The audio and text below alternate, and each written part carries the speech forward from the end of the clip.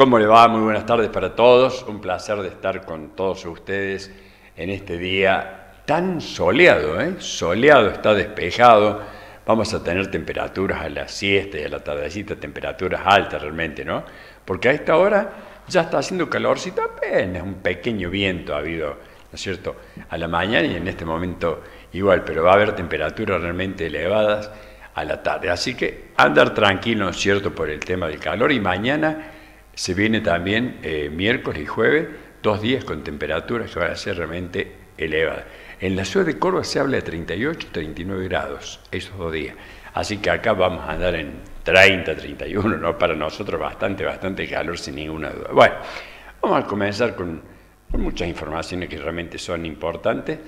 Eh, en este caso vamos a ir eh, a un simposio de medicina muy importante que se realizó por Sano Salud en la ciudad de Cruz del Eje, ¿no?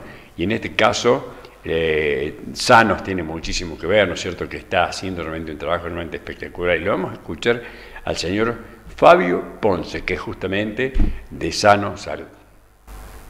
Bueno, eh, primero agradecerte, Sergio, que se hayan llegado acá hasta la ciudad de Cruz del Eje para cubrir este evento, para nosotros de una importancia eh, enorme, ¿no? Lo que tiene que ver con este primer simposio de salud en el noroeste de la provincia, eh, donde bueno, hay varios disertantes, la verdad que de una capacidad profesional eh, importante, eh, no solamente a nivel de la provincia, sino que trasciende ya la, la, provincia de Córdoba.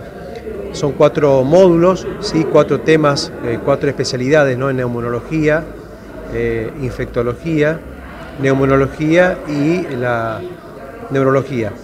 Eh, y la cardiología, perdón. Eh, ya han pasado dos módulos y la verdad que esto, Sergio, es, como te digo, muy importante. Agradecer la presencia de los profesionales que se han llegado, no solamente de acá de la ciudad de Cruz del Eje, sino también de otras localidades, ciudades. Eh, y la verdad que a nosotros nos da gusto poder haber dado este puntapié inicial y que se vengan sucesivos simposios. Bien. Fabio, he visto mucha asistencia de público, no solamente profesionales de salud, sino gente joven que seguramente serán también estudiantes o enfermeros, ¿no? Sí, sí, la verdad que hay estudiantes, eh, profesionales jóvenes. La verdad que el interés a nosotros no ha, eh, a ver, no nos sorprende porque la verdad que la calidad de los profesionales, Sergio, que han estado disertando, que, hasta el momento van disertando, todavía falta la otra mitad del simposio, eh, la verdad es que es para aprovecharlos. No tenemos la oportunidad todos los días de tener esta calidad de profesionales disertando, donde libremente acceden a preguntas y por ahí eh, se plantean cuestiones, ¿no? Y bueno, esto tiene que ver uno que está en el, ámbito de la salud, en un sanatorio todos los días, hablando con los médicos, con los enfermeros, los pacientes, los familiares, es de suma importancia. Eh, no solamente porque esto tiene que brindar una, capacitación, sino por la información, ¿no? A veces, muchas veces estamos totalmente desinformados y se tocan temas tan importantes y tan habituales, ¿no? Los ACV, los infartos, eh, la verdad que es muy importante para esta zona. Eh, este es el primer simposio, como decía Fabio, seguramente el año que viene y así quede como un clásico también eh, de, de una serie de capacitaciones. Seguro que va a ser así, Sergio. La verdad que esto nos da eh, como decíamos recién, la concurrencia de mucha gente y esto, no, no, no hay duda que vamos a, continuar. Ojalá podamos hacerlo más seguido y no es tener que esperar un año, ¿no, Sergio, para realizar este tipo de capacitaciones eh, y que la gente también vaya acostumbrándose que esto puede darse en, nuestra zona. Decía un médico hace rato de la, de la cumbre que hace tiempo que no, no recuerda, digamos, que sea este tipo de, de simposios, seminarios, congresos. Así que bueno, la verdad que agradecer, déjame agradecer Sergio a todas las autoridades que vinieron, al señor intendente que tuvo en un principio, el legislador departamental, eh, al director de jurisdicción sanitaria de, acá del departamento.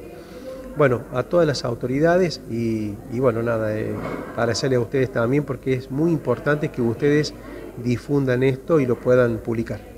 Por último, Ponce, aprovecho para preguntarle cómo funciona la Clínica Santa Isabel y algunos proyectos o próximas inversiones, tal vez, o servicios. Sí, sí, justo la, pregunta es muy oportuna. Estamos trabajando con la nueva UTI, para, para 15 camas con una capacidad para 15 pacientes. La verdad que esto para la zona es trascendental, Sergio. Eh, también estábamos trabajando y como hablaba esta mañana temprano con el cardiólogo, el doctor eh, Boscaro, que hizo la, eh, la presentación del primer módulo, estamos también trabajando en lo que va a ser el nuevo servicio de hemodinamia, algo tan importante para la zona que lo supimos tener en su momento y bueno, que ahora estamos nuevamente con el proyecto y eso bueno, y entre otras, muchos avances que siempre se ven en el, sanatorio y, bueno, trabajando siempre para adelante, Sergio. Bueno, ojalá que se concrete todo. Gracias, Fabio. No, gracias a ustedes por la visita. Bueno, esto ha sido realmente muy importante, ¿no es cierto?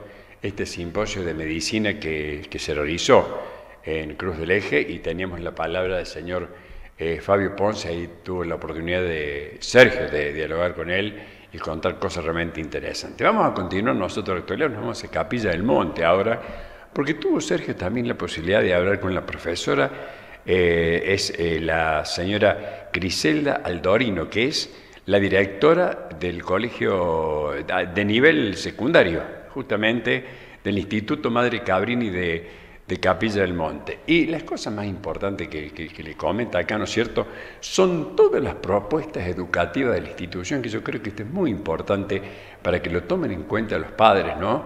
Porque yo creo que vale la pena que lo remarquemos. El tema de educación es clave, clave en los niños a nivel inicial y en los del secundario más todavía, así que la vamos a escuchar. Las últimas actividades, sí, para, para cierre de año eh, con muchas, muchas cosas, los chicos trabajando muchísimo y también ya culminando un proceso de eh, prescripción que se abrió en la página de nuestra institución, tanto para nivel primario como para nivel secundario, a partir del 14 de octubre y finalizó el 31 de octubre. Y bueno, podemos decir que con respecto al nivel secundario una gran demanda, eh, especialmente con primer año, especialmente para el primer año. Eso es bueno.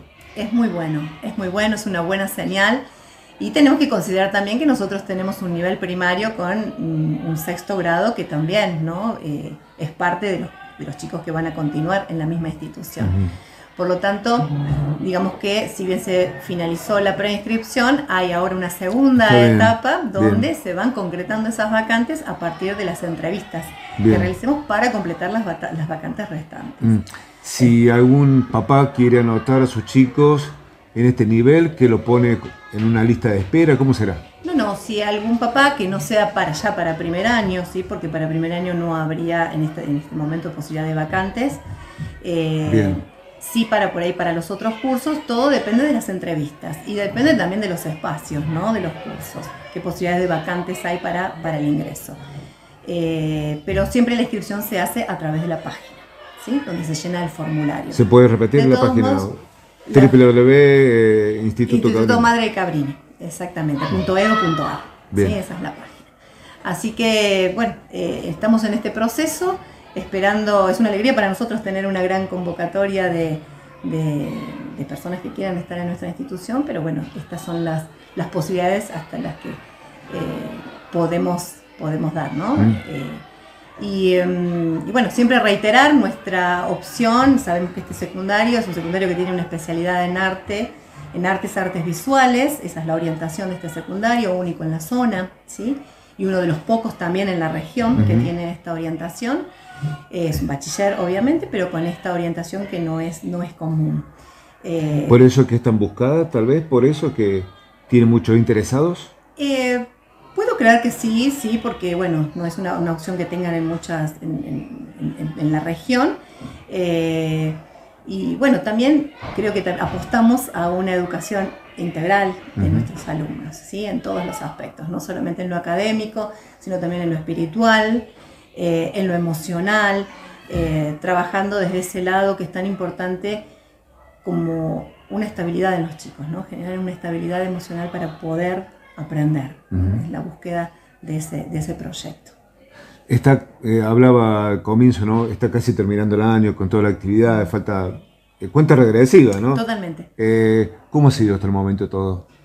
Bien, se ha dado bien, se ha dado muy bien a lo largo del año. Hemos tenido varias, em, varios eventos que se fueron desarrollando a lo largo del año, convocatorias hacia las familias, con muy buenos resultados una muy buena asistencia de los padres, de acompañamiento Ah, de bien. los padres en, en esos aspectos, eh, con respecto también al acompañamiento de sus, de sus hijos en el aprendizaje.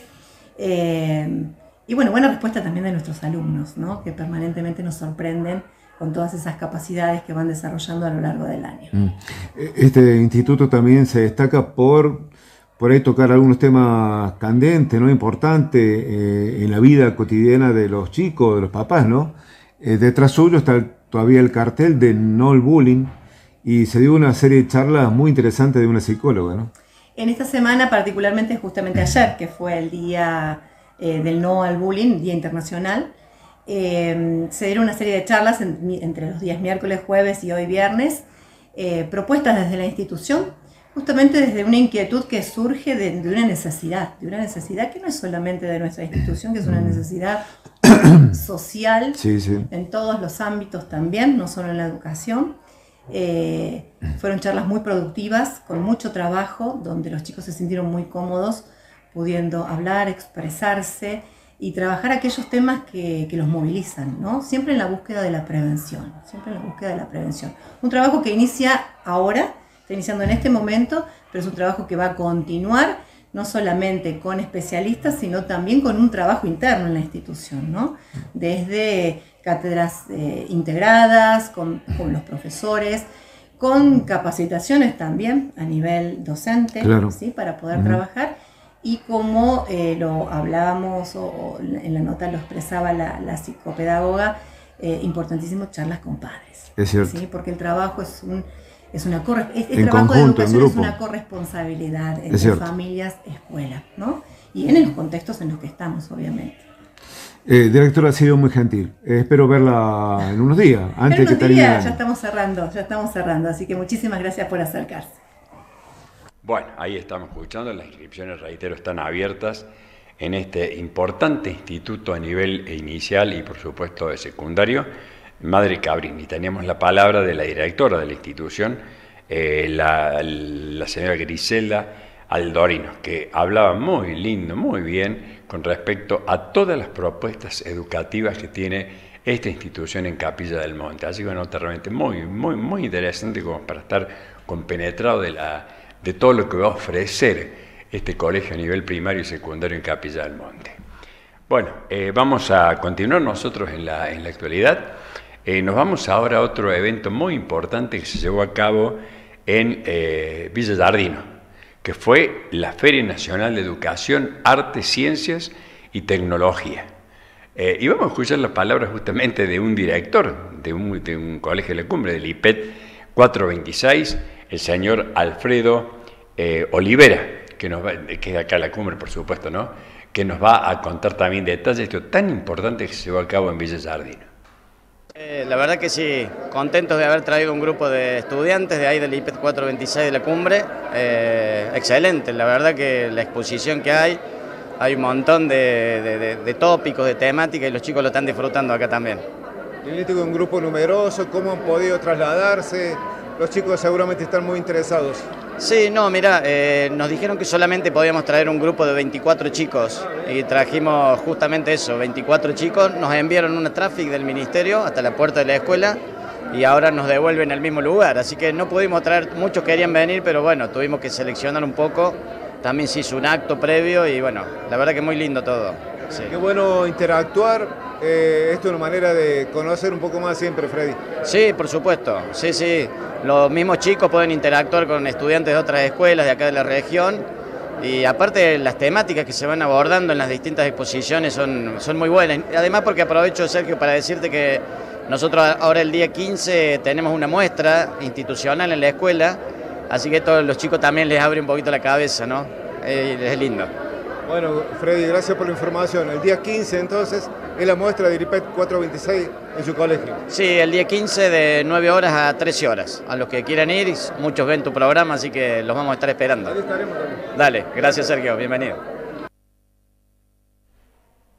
Bueno, ayer estábamos escuchando esta interesante nota que hace Sergio con el, mm, en este caso, el director del IPET 426, eh, Alfredo eh, O- Olivera, que es de la cumbre, que estuvo participando también en la Feria Nacional de Educación, Arte, Ciencias y tecnología que se llevó a cabo en la localidad de Villa Jardino.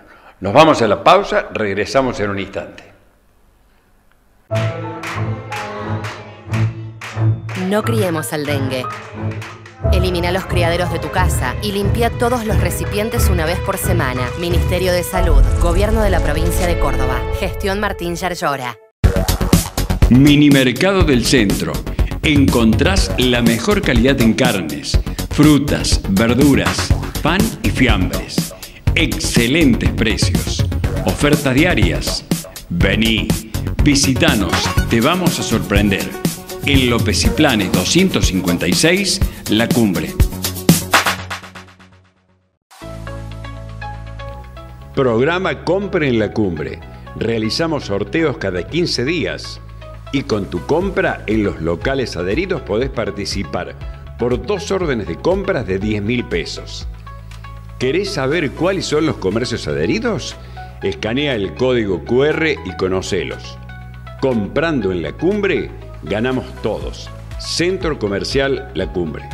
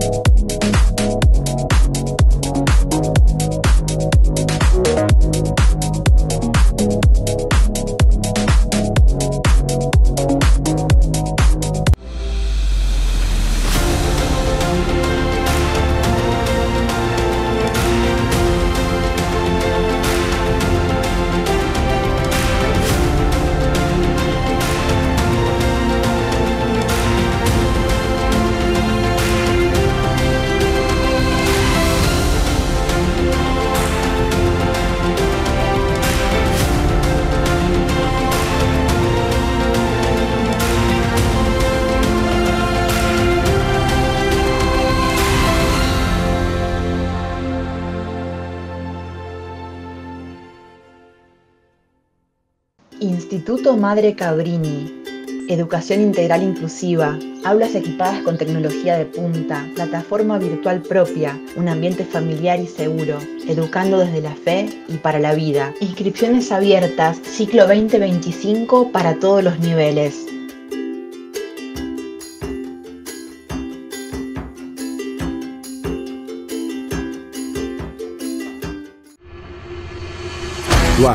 Es el Departamento de Unidades de Alto Riesgo de la Policía de Córdoba, especializada en respuesta a situaciones de alto riesgo y emergencia. Rescates en zonas de difícil acceso, desastres naturales y operaciones tácticas de alto impacto.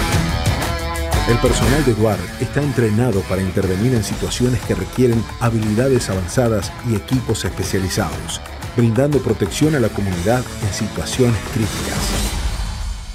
Seguridad compromiso diario con los cordobeses.